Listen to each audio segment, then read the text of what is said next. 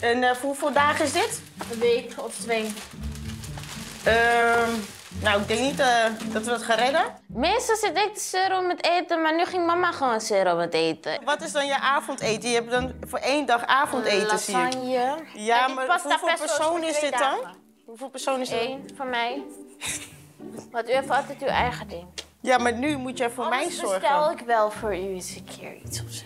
Abby is best wel eigenlijk gierig. Daar komt het dan weer een beetje in terug. Van ja, hoezo koop maar lekker zelf. Dus één dag gaan we pasta Ja, eten. hoeft niet over alles commentaar te hebben.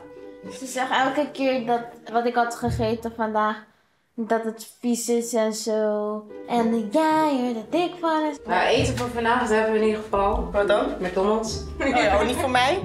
Ik krijg gewoon niks te eten. Gewoon. Ik heb gewoon koude patat, gewoon leftovers gegeten.